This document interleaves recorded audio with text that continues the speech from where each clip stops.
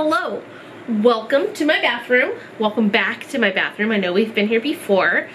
I thought today we would do my skincare routines. Starting with the AM routine. I will say, I'm, I'm gonna like walk through it and everything, but uh, my morning routine pretty much never changes. I do the same things every morning uh, and my nighttime routine does change. I'm gonna show you all of the steps that I do for both of them and for the ones that are different, like the different nights that I have, I will show you what products I use for that.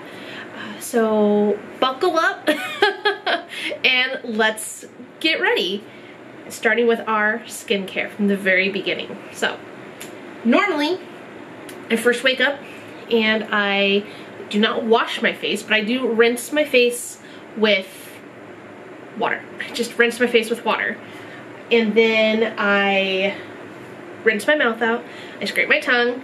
I don't always brush my teeth because I like to have my coffee first, but I feel like the rinsing of my mouth, or scraping of the tongue, rinsing of the mouth sets me up for a good cup of coffee.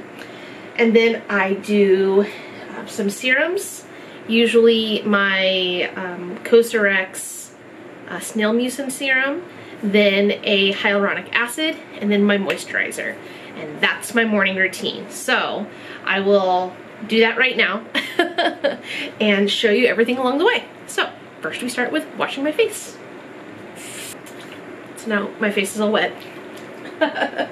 I don't feel the need to cleanse my face, but I do want to wash off the extra product. I, I can always like feel it coming off, anything that didn't get absorbed through the night.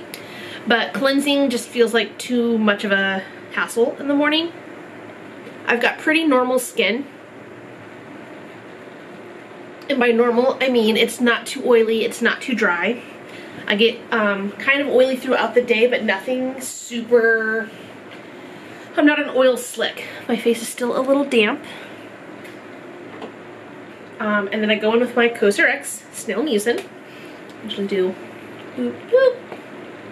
I love this stuff. This is actually a, a staple in my collection. I used up what I had and was like, I'm not going to repurchase this. I don't need this. And then once I started the spirolactone and tretinoin, um, I just, I really needed that infused of hydration. This is a very hydrating product and it has made such a big difference since I put it back in my routine. So I was on a no-buy for the first three months of the year but these two things were something I bought during that no-buy because my skin just needed it. And I didn't have any, I didn't have any backups. So this is the Good Molecules Hyaluronic Acid. I'm not married to any specific hyaluronic acids. Um, I've used The Ordinary, I've used this one. I feel like they all, I mean, I'm sure some work better than others, but um, none has ever, have ever really like blown me away to where I'm like, this, this is the hyaluronic acid for me. But these work great, and I do enjoy using them. And again, it just gives my skin that, that boost of hydration that I was lacking. So, my skin was still a little damp from rinsing it and that other serum. So I really do like work it in, especially here. This is where I get the driest with the tretinoin and like my temples for whatever reason. So I just really kind of work it in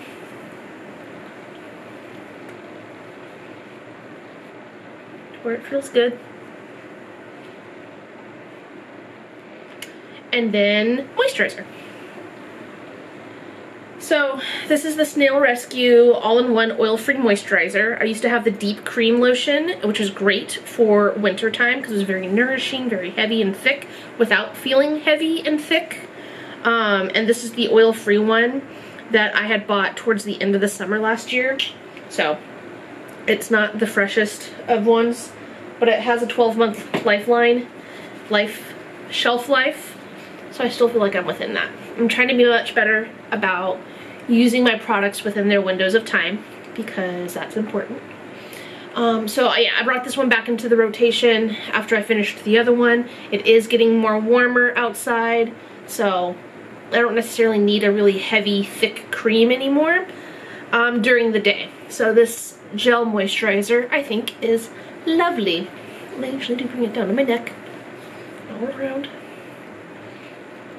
and then that's it. That's truly what I do in the morning. And then I um, go sit and have my coffee and either fuss around on my phone or read a book, whatever. For about 15, 20 minutes, I let that all sink in and, and hydrate my face, and then I go in and do my makeup for the day. So that's the AM skincare routine. Truly, those are the only three products I use in the morning. Um, the only thing that changes is what that product is, like what brand it is. So like when I run out of this one, I'll just, you know, roll in a new moisturizer. I might repurchase this one. I really like it. Would recommend. Um, but yeah, just those three products and that seems to help set my face up for makeup for the day. So we will return when the day is done and I am ready to take my makeup off and do my nighttime skincare routine. So I'll see you, I'll see you later. Welcome back to my skincare routine. Uh, we are now in the PM. We are in the PM of the skincare routine. So I'm gonna walk you through everything I do uh, at the end of the day when I am ready for bed. So I start with a double cleanse and I will grab a cleansing balm and then a cleanser to get all of my makeup off and work it all off. I did swatches earlier and those still have not come off. Um, but yeah, double cleanse. And then I, my biggest and best habit that I have cultivated this year um, is flossing. then I will floss my teeth and then brush my teeth for bed because you should floss first and you should also brush your teeth before your skincare so you don't have any like reactions between like if you get toothpaste on you or when you wipe your mouth, rinse your mouth and everything, you don't get extra water or anything on it. I digress. So double cleanse, brush my teeth, and then depending on the night, I kind of do a skin cycling thing where I will uh, go in with my tretinoin um, after my skin is dry, on dry skin, tretinoin, and then I let that sit for about 20 minutes and then I go in with a uh, barrier repair serum, maybe some niacinamide serum, and, excuse me, moisturizer, a heavy duty moisturizer, and an oil, a rose hip oil. That's my, like, retinol night. When it's not a retinol night, I do um, that same barrier repair serum, and then I go in with, what do I go in with? Oh, alpha arbutin and lactic acid. I do a little cocktail of that and then moisturizer. It doesn't have to be heavy duty, but then I do a moisturizer and sometimes a that same rosehip oil if I feel it's necessary. So tonight is a uh, not a tretinoin night, and it's not quite a physical exfoliating or even chemical exfoliating night. So I'm gonna do everything that I just said. Um, so I'll show you. Oh, and I, I'll add one. So, double cleanse. Um, then I will go in with the Good Molecules uh, Discolor. What am I doing? Let me, let me walk you through it. We're to start with a double cleanse. I'm to go in with, this is a peach, uh, peach, peach slices peach pudding makeup cleanser. It's actually not a cleansing balm. It's a pudding kind of consistency. Um, and I don't know if I like it. It looks like that. And I think it's effective, don't get me wrong. I just like a cleansing balm. So I don't know. I don't know if I would repurchase this. I'm going to use it because I have it. But um, I don't know if I prefer it um, compared to other first cleanses that I have. So I go in with dry skin, or dry skin, uh, yeah, dry skin before I wet it. And I just kind of work everything. And then I'll get it wet, just like I would with a cleansing balm, and emulsify it. And I try to, I literally try to count to 60 for like a minute and just cleanse and get everything off um, for a minute's worth because they say that's how long it takes for your skincare to be the most effective. So I usually count 40 or 60. It kind of just depends. on how I'm feeling. And then I emulsify. So then I add the water to it. And I do this like while counting, all part of the same 60. Tell you what, I think I got this in my eye and it don't feel good. so that's the first cleanse. And then I go in with a cleanser. I have this uh, Vital Vita 12 Jelly Cleanser, which I really, really like. And I also have the CeraVe Acne Control Cleanser. I go back and forth. I'm not married to either. Um, so I'm going to go in with this one. This one is very nice. It's a Tony Moly is the brand. Uh, Vita, Vital Vita 12. I want to say it's like a vitamin C cleanser. But I do not actually recall. So just like get that all ready. And again, I count to like 40, 40 or 50. Not quite a full, full minute. Because all the heavy duty has been, all the heavy lifting has been done by the first cleanse. And this is just making sure everything else gets off. So I will continue over here. I just got so much water, like, all over me. I don't really know what happened in that, but um, that is my face cleansed. Pat dry. I'm trying really hard to like just scrub and rub my face. Although sometimes it just feels so good. Okay, now that my Face is cleansed. I'm going to floss and brush my teeth. If you're interested, this is the floss I use. It is the Up and Away Smooth Slide Floss from Target. Um, and yeah. I went to the dentist for the first time in like probably five years and I was just so scared that I was gonna have a cavity. Um, spoiler alert, still no cavities. I'm cavity free at 34, thank goodness. But they did say that like my flossing really needed to improve and I took that to heart. And when I go back for my next checkup, they're gonna be like, wow, is the best teeth I've ever seen. And I do usually, that was the first, that was the uppers, now I gotta do the lowers. Um, and I keep like flossers in my car so I floss after work, floss all the time. I'm a flossing machine. And I was definitely on like dental side of TikTok for a while, so I feel like I got like lots of camera, I can't see anything. Um, yeah, so I got lots of good like tips and tricks um, from TikTok about how to be the best flosser ever. So I also went to the movies today and I got popcorn. You absolutely have to floss after eating popcorn. You can get stuck, get it stuck in between your teeth and it could break a tooth.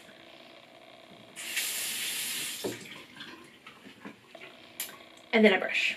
And again, in case you're interested, I just switched to this. This is the Crest 3D White. Um, and I switched to this. This is actually what Anthony has. I normally have to use like Sensodyne or like for sensitive teeth. Um, and I ran out of my toothpaste. Used it all up because I brush my teeth a lot. and I just didn't want to go buy anymore. He had like six tubes of toothpaste. So I said, I will just use that. And if my teeth hurt too much, then I will just eventually get more toothpaste. But I think it's been okay. So Philips Sonicare.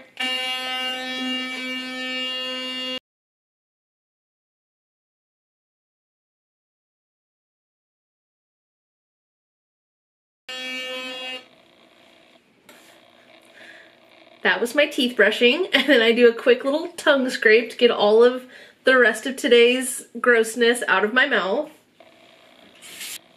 And then I normally have this cute little bottle filled with this as well as baking soda, baking soda and hydrogen peroxide to help whiten my teeth more naturally. Um, but I just have not refilled so I'm just going to go in with a little bit of this and then that is my teeth routine.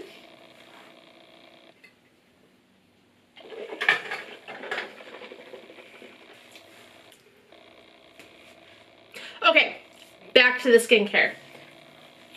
Something that I didn't mention was the uh, Good Molecules Discoloration Correcting Serum. I use this a couple times a week. And again, I did a tretinoin last night. So this is more of a recovery night. I do tretinoin about every other night. Um, if it seems like it's too drying or peeling, I go every two nights. But um, I just kind of play it by ear. Um, minor skin cycling, if you're familiar, where it's uh, tretinoin, recovery, exfoliation, tretinoin, recovery, exfoliation. I just kind of do tretinoin, recovery, and I throw exfoliation in there about two or three times a week with the recovery nights. So, um, you are supposed to let that one sit for a little bit. And maybe I'm messing with the efficacy of it, but I just, I'm tired and I don't want to let it sit until it's fully absorbed. I'm just going to pretend like it's doing what it needs to do. And then this is the Coco Kind Barrier Repair Serum, which is a staple. I will say, I think I've noticed a huge difference. And I started using this before the tretinoin, um, just because I have issues with like dermatitis and damaging my skin barrier all the time um, because I'm a fool sometimes. But yeah, this one, absolutely holy grail. We'll always repurchase, we'll always have a backup. Um, same with this one. Yeah, this one's actually almost gone. I will always have one of these on hand. Um, Cica and Vitamin C Serum from Mebac. Really like it. Um, I'm not married to any specific vitamin C, but um, I try to keep a vitamin C on hand. I'm going to go in with both of these. This is alpha arbutin, which is good for um, skin texture and discoloration, and lactic acid, so that's like my chemical exfoliation for the night.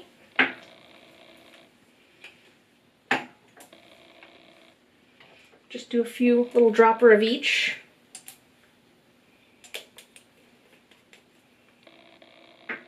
Those are both from The Ordinary.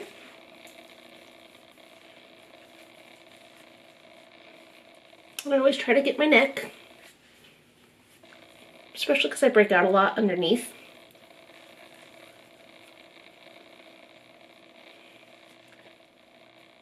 Then I have a couple of different um, like moisturizers that I like to use at night.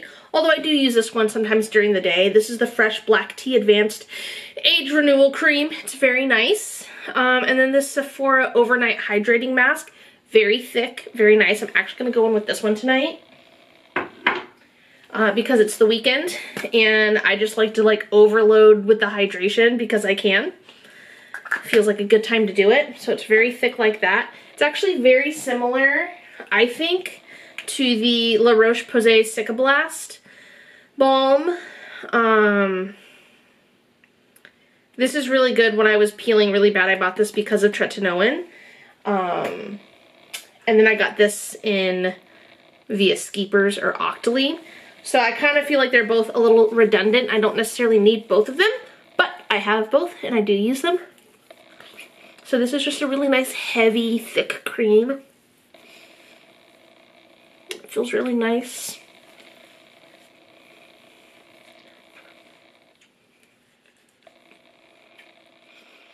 My nighttime routine definitely takes a lot longer than the morning. Obviously morning have just three steps and depending on the night I might have a few extra in this one but I really like it. Like I have